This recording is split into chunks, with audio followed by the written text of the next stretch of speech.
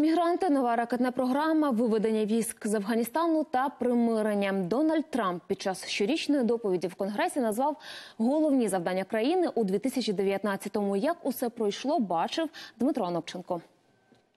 Вже із шостої вечора в центрі Вашингтона страшенна тиснява. Це силовики поступово обмежували рух вулицями, якими президент поїде з Білого Дому до Капітолія. Офіцерів стягнули з усієї столиці скрізь поліцейські сирени. У конгресовий квартал можна пройти тільки за запрошеннями.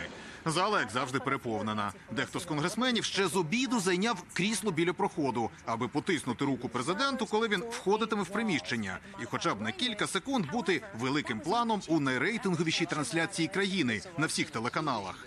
Але є і ті, хто вирішив потролити президента, запросивши в цей зал спеціальних гостей. Німий докір для Трампа, чиновників, які через шатдаун сиділи без зарплати, мігрантів, яких на кордоні розлучили з дітьми, і навіть співробітників президентського маєтку у Флориді, котрих було звільнено.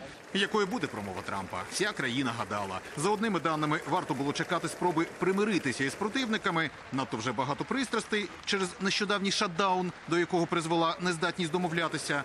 За іншими даними, президент навпаки міг бути жорстким та мало не про запровадження надзвичайного стану на кордоні повідомити. Вочевидь, серед чорнеток промови були обидва варіанти, але Трамп обрав середину. Почав із закликів до примирення, порушив теми, які викликали овації в обох частинах зали, і вже потім перейшов до питань, які для нього на першому місці: протидія міграції, В минулому багато людей в цьому залі голосували за стіну, але справжня стіна так і не була побудована. Я її таки зведу.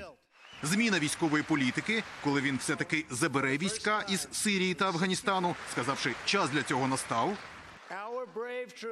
Наші загони воюють на близькому сході майже 19 років. В Афганістані та Іраку 7 тисяч героїв віддали свої життя. Великі нації не ведуть безкінечні війни. А ще Трамп обіцяє повністю перебудувати армію і зробив одну із найважливіших заяв цього вечора щодо старту нової ракетної програми Америки. США розробляють найсучаснішу систему протиракетної оборони. Десятиліття тому ми увійшли в угоду з Росією, за якою домовилися урізати наші ракетні можливості.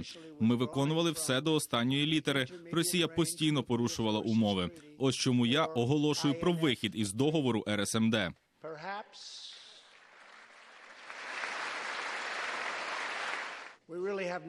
У нас вже не було вибору. Тепер ймовірно зможемо обговорити інші угоди. Додамо Китай та інших. Закликом єднатися президент закінчив промову. Він, як міг, намагався показати готовність іти на компроміси. Якщо не демократам, з якими вже завтра може звично почати нове протистояння, то хоча б своїм власним виборцям, для яких це дійсно важливо. З Вашингтона Дмитро Анопченко, Сергій Коваль, американське бюро телеканалу Інтер.